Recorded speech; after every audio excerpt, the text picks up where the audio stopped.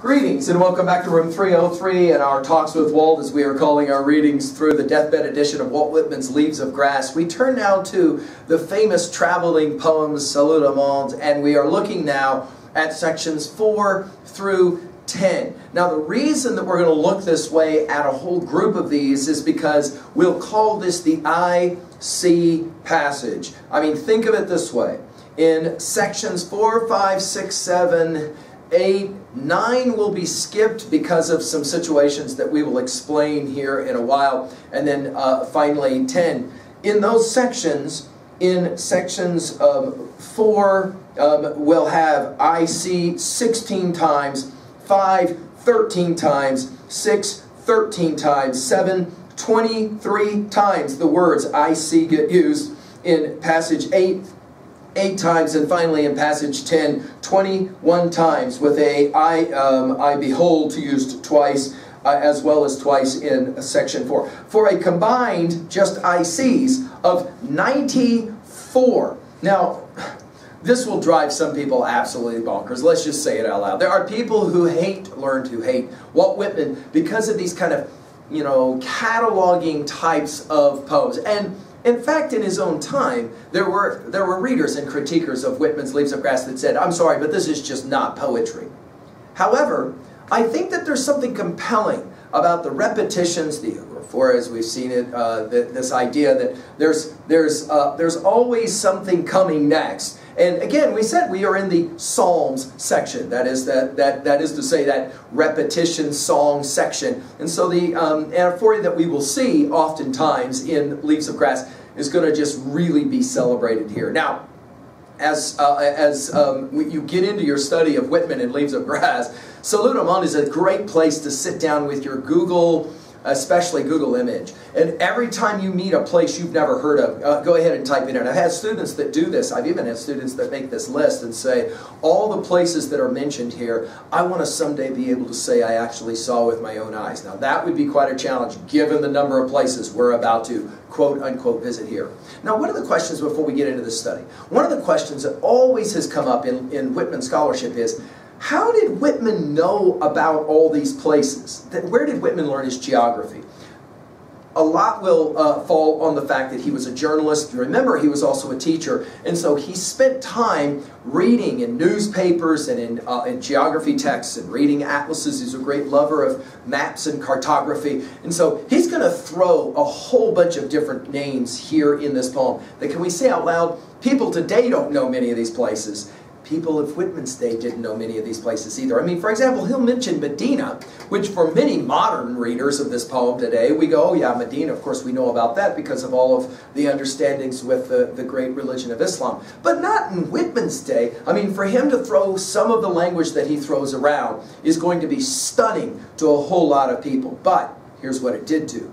It led a lot of readers of Whitman's day and beyond to take down an atlas and to start saying, whoa, the world is this amazing place with all these, all these references. And he will cover pretty much the entire globe as we get into this passage. Now, I wish that I had time to just actually read all of the passage and then come back to exegete. We just don't have time. So let's go right to it. Now, if the opening lines of passage 3 is what do you hear, Walt Whitman, and we've already uh, discussed that, so let's make sure we got our assumptions out of the way.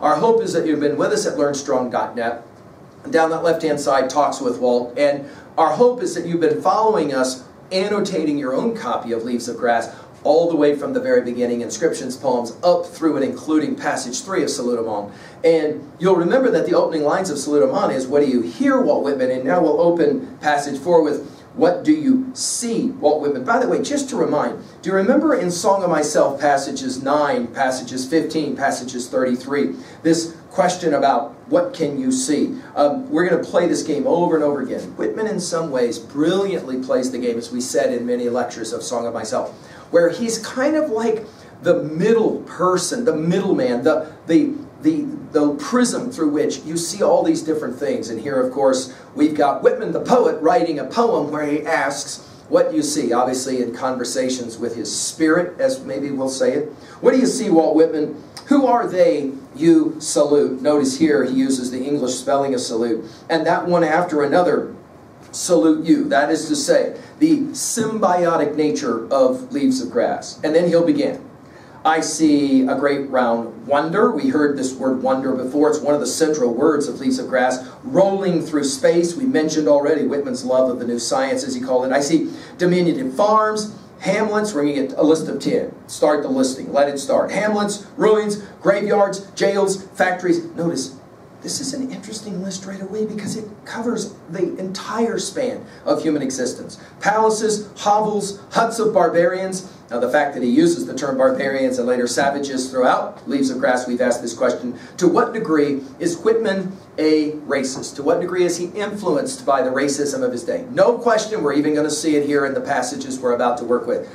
And yet, we're going to look through and beyond some of his uh, you know, cultural racism to recognize that there's clearly something celebratory about what's going on as he, as he speaks of all these different people. Tents of nomads upon the surface, obviously we're talking now the globe. I see, again, over and over again. Shaded part on one side where the sleepers are sleeping, we'll come back to his classic poem, Sleepers Letter, and the sunlit part on the other side. In other words, he says, I am physically looking at a globe with you guys. Let's celebrate that globe. I see the curious, I told you this is one of his favorite, favorite words, curious rapid change of the light and shade. We cannot read a line like that and not think, of course, of Lao Tzu's uh, um, Te Ching and, of course, the Yin Yang symbol and William Blake's influence, the songs of innocence, songs of experience. There's polarities, always polarities, right? I see distant lands as real and near to the inhabitants of them as my land is to me. In other words, in their own right, Whitman will point out already at 2a, let's put this in our notes as a possible message. In, our, in its own right, all people are patriots to the land from which they come. Then he begins first by mentioning waters, plenteous waters. Then he goes to mountains, and he'll start messing around with lots of them. I see mountain peaks, the Sierras of, uh, of, of the Andes, where they range. I see plainly the Himalayas, uh, the Shanshas from China, right? The Altais, the Siberian mountains, uh, the, the uh, the, um, the British, from British India. I see the great pinnacles of Elborz, and, and again, each one of these, I recommend, these are all from the Caucasus, but I recommend that you go and take a look at these. The Elborz, uh, one of the highest peaks in, in uh, Russia. Um, Kazbek, um, uh, um, again, on the Russian-Georgian border, right? The uh, Bazaragi, um, again from the, uh, uh, from the Russian and Azerbaijan um, area. I see the uh, Styrian Alps and the Carnac Alps, again Austrian and Italian Alps, right? I see the Pyrenees, right, which of course will separate, as we know, France from Spain. Um, the Balks, the Carpathians, and to the north, the uh, Dorf uh, uh, fields and off at sea Mount Hecla, the volcano in southeast uh, Iceland. Notice we're jumping all over the place, right? Everywhere from Yemen to uh, Central Eastern Europe and the Czech Republic and Romania to Norway and to Switzerland. Then he'll go to Vesuvius and Etna. Of course, we're talking here now Sicily and Italy, right? The mountains of the moon. Ptolemy will, in fact, name that area of the interior of Africa Africa, the mountains of the moon, the red mountains of Madagascar. I mean, let's just pause for a moment and point out, just in this one passage, how amazing it is that he will, that he will name all of these different mountains in some ways. We have said this before already in other lectures. In some ways, mountains always define us because mountains are always about stories. I mean, we think of Sinai, for example, as mentioned, although Sinai itself not mentioned in this poem will certainly be referenced, no question about that, right? I see, and then he'll continue. I see the Libyan, Arabian, Asiatic deserts. Now we're going to go to the big deserts, the huge, dreadful Arctic and Antarctic icebergs. So now we're going to the polar to the polar ends of the globe. I see the superior oceans, the inferior ones, the Atlantic, the Pacific, the Sea of Mexico, the Brazilian Sea, the Sea of Peru, all of the different waters, the waters of the Hindustan, the China Sea, the Gulf of Guinea, the, Jap the Japan waters, the beautiful Bay of Nagasaki, landlocked in its mountains, the spread of the Baltic, Caspian, Bothnia, the Swedish, uh, the British shores, the Bay of Biscay, France, right? The sun-cleared Mediterranean and from one to another of its islands, the White Sea, north northwest corner of Russia, the sea around Greenland, so all over the place. And then he skips and or, or leaves I see and goes to I behold. I behold the mariners of the world. So notice we're going to go from physical geography to now the individuals who are the great explorers, right? Now, Whitman loves to celebrate explorers. He'll write a whole poem to Columbus, and of course, we, uh, we today obviously have to admit and say out loud the horrors of Columbus and his exploration.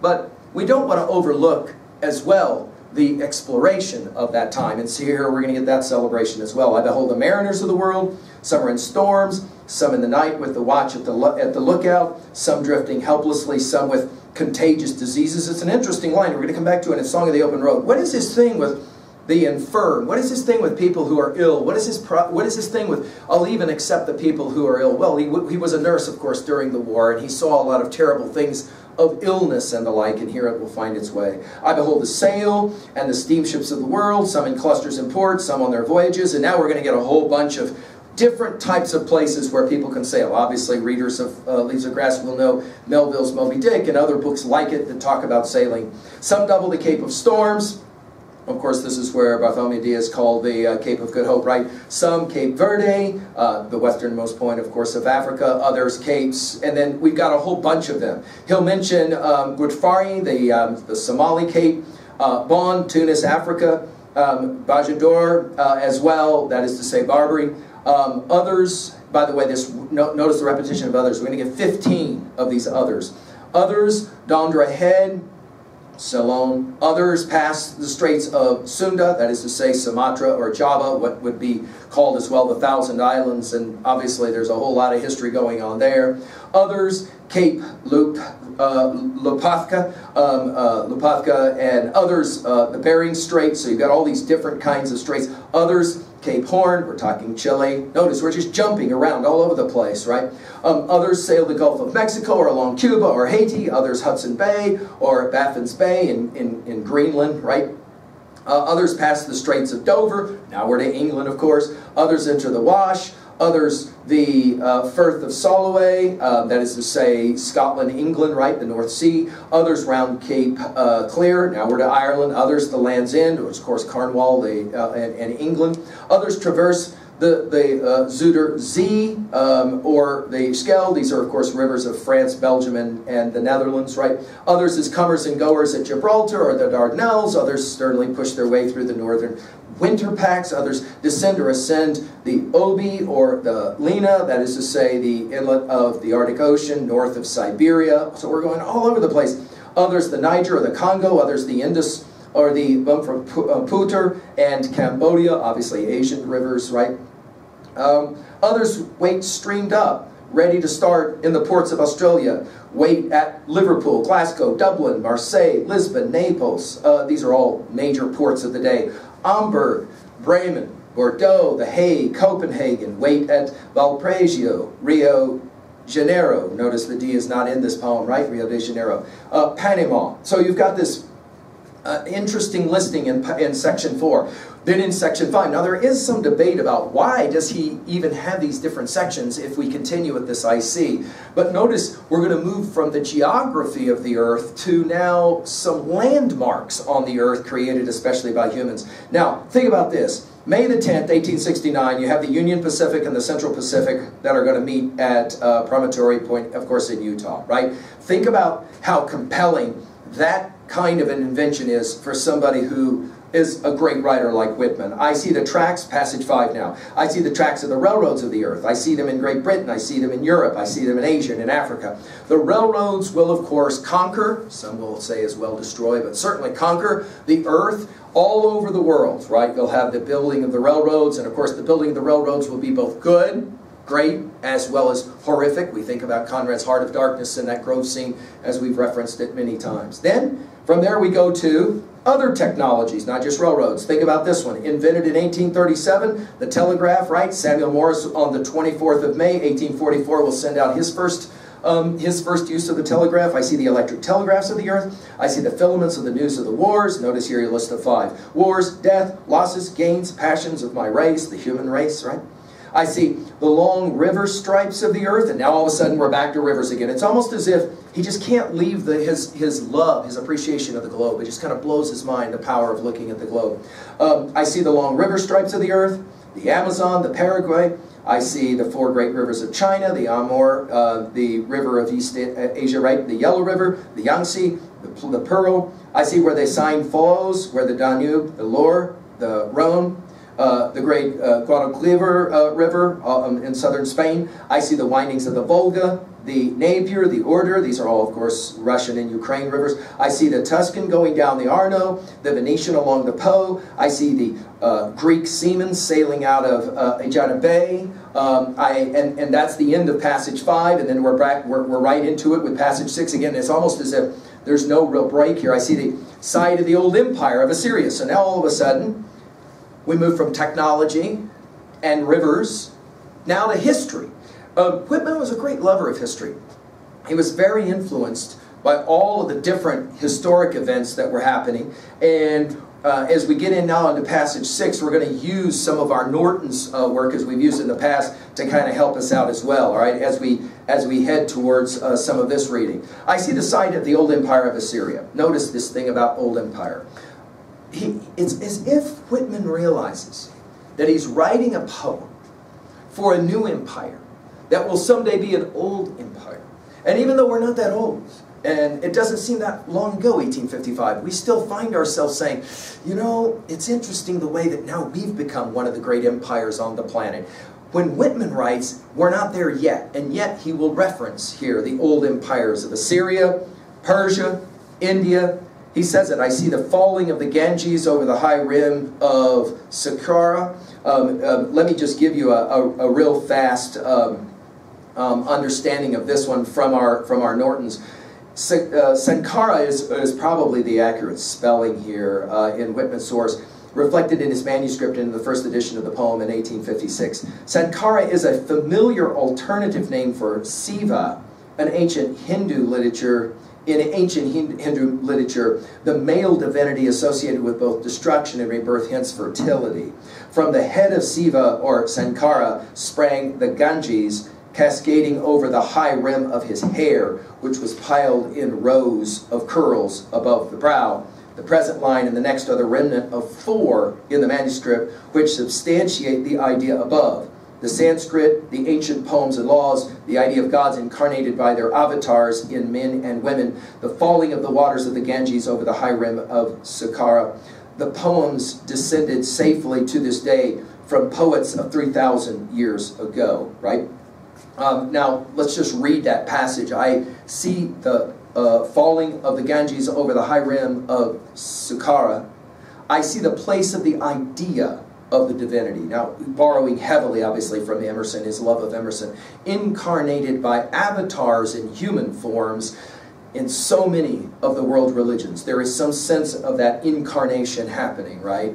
I see spots of the succession of priests. We've talked about Whitman in this poem believing himself to be a, a priest of a kind. Priests on the earth, oracles, sacrificers, Brahmins, Sabians, um, of course, a originally semi uh, semi Christian sect of Babylonia, later a semi Muslim sect of Mesopotamia.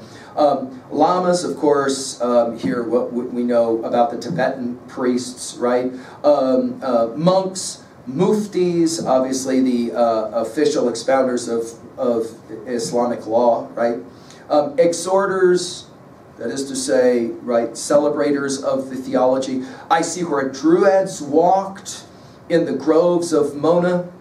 I see the mistletoe and the vervain. Now, this thing about the groves of Mona from your Nortons here, it's a, a the Latin name for Anglesea, country of North Wales, okay? And, um, and, and, um, and, and then just to finish this one, I see the mistletoe and the vervain um, in, in European mellow like mistletoe, a legendary association with Druid worship. So obviously we're playing the, the ancient game. I see the temples of the deaths of the bodies of gods. You can't help but read a passage like this and think about Nietzsche's famous God is Dead passage. We've spoken about it elsewhere at LearnStrong.net.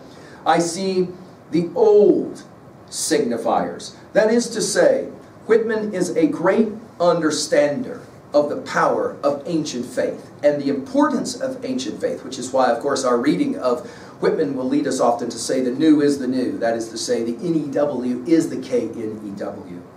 Then a break. And he knows what he's doing. There's no question. He's aware of the iconoclastic nature of what he's about to do. He starts with the ancient religions, and now he's ready to speak, of course, of the religion of his days, namely Christianity let's see how he deals with this. And we're going to come back to this when we read to him that was crucified, probably the most direct statement of his Christian theology. We'll get to it later. I see Christ eating the bread of his Last Supper in the midst of youths and old persons. Now, obviously, the, um, the Last Supper portrait was known to all the readers of, most of the readers of Leaves of Grass. I see where the strong, divine young man, the Hercules, toiled faithfully and long and then died. Notice how I put Christian theology and Christ next to Hercules. I see the place of the innocent, rich life and hapless fate of the beautiful nocturnal son, the full-limbed Bacchus. Now, of course, here we cannot, I mean, we can't, we can't miss it, obviously. He's making references to the ancient poem, the ancient play uh, of Bacchae. I see Kneph, uh, blooming, dressed in blue. Um, this Kneph, of course, is Egyptian mythology, a god with the body of a man and the head of a sheep, right? Okay. Um, now, we'll, we'll say this again later, but Whitman was a great lover of Egyptology, and he loved to talk and think about the, the Egyptian um, uh, motifs. I see Kneph blooming dressed in blue with the crown of feathers on his head. I see Hermes unsuspected, dying, well beloved, saying to the people, and then here for one of the only times other than the title Salute he's going to use italicized.